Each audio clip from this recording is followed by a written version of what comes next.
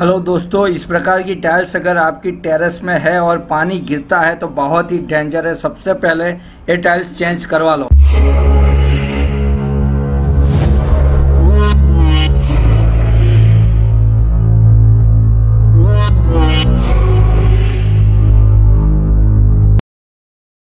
तो दोस्तों, जो टाइल्स मैंने दिखाई, वो लगी हो। अगर पानी नहीं गिरता है तो कोई दिक्कत नहीं है, लेकिन पानी गिरना शुरू हो गया। तो लेट नहीं होना है, सबसे पहले टाइल्स बदल देनी है, वरना ऐसी हालत हो जाएगी, आप देख सकते हो, ये पूरा स्लैब खराब हो गया, क्योंकि पानी लीकेज होने की वजह से लोहे को जंग लग जाता है, और लोहे को जंग लग जाए तो बाद में कुछ नहीं कर सकते।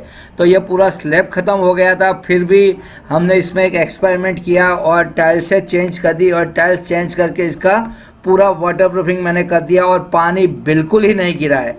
तो मेरे टाइल्स फिटिंग के बहुत सारे वीडियो है, जो मेरा सभी में तरीका एक ही है वाटर प्रूफिंग से पानी बंद करने का।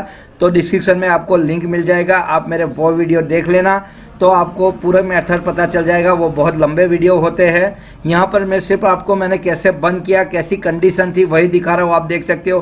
कितनी खराब हालत में ये स्लैब है। फिर भी इसका पानी मैंने बंद किया है, इसी साल, इसी बारिश में बंद किया है। तो ये बहुत ही अच्छा रिज़ल्ट मिला मेरे को। तो वही मैं अपना तजुर्बा आपसे शेयर कर रहा हूँ। आप देख सकते हो, ये बहुत ही ख़राब हालत में स्लैब है। इतना पानी पड़ने की वजह से स्लैब इतना ख़राब हो गया था कि पहले तो मैंने सोचा इसका पानी बंद होगा कि नहीं, मैं क्या करूँ, कैसे बंद करूँ? फिर भी मेरे को मालूम था कि मुझे क्या करना है तो मैंने इसका पानी बहुत ही आसानी से बंद कर दिया। तो मैं आपको वही वीडियो अभी दिखाने वाला हूँ। और अगर आपको देखना है कि किस प्रकार से हमने काम किया तो उसके लिंक आपको मेरे वीडियो में मिल जाएगा। मेरा 10 से 12 वीडियो है रॉप टाइल्स फिटिंग पे तो आप देख सकते हो, ये स्लैब पूरा खराब हो गया था। स्लैब में आर पार क्रैक हो गई थी, देख सकते हो। ऊपर के हिस्से तक क्रैक आ गई है, इतना खराब। तो इसमें तो पानी गिरेगा ही गिरेगा, आप देख सकते हो, क्रैक कितनी बड़ी है। तो ये स्लैब इतना खराब हो गया है कि ऊपर से नीचे तक आर पार क्रैक थी। तो इसमें पानी कितना गिरता होगा आप भी सोच सकते हो। फिर भी इसमें भी हमने पानी गिरना बंद कर दिया है। करना कुछ नहीं है, इसमें एक तरफ़ से सफ़ा कर लेना है, जहाँ जहाँ पर एक क्रैक है, और वहाँ पर केमिकल लगा के, केमिकल वाला रेड ही डालना है, यानी कि सीमेंट मिला के पानी डालना है, उतना पानी डालना है जब तक ये क्रैक भर ना जाए। वो भरने के बाद उसी दिन जब टाइल्स लगा, उसी दिन दोबारा इसमें वो केमिकल डालना होता है और वो केमिकल डालने के बाद ऊपर तुरंत ही रेती वाला मसाला डालना ज़रूरी है। क्योंकि अकेला केमिकल वाला पानी डालते हो तो वो दूसरे दिन फट जाता है। रहता नहीं है, उसमें भी क्रैक हो जाती है। तो बेहतर है आप इस प्रकार से अच्छे से केमिकल अगले दिन एक बार डाल लो।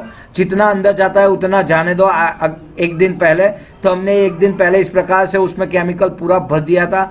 दूसरे दिन दोबारा केमिकल लगाना होता है और उस जगह पे दोबारा केमिकल लगाने के बाद इस प्रकार से ऊपर तुरंत ही मसाला डाल देना है।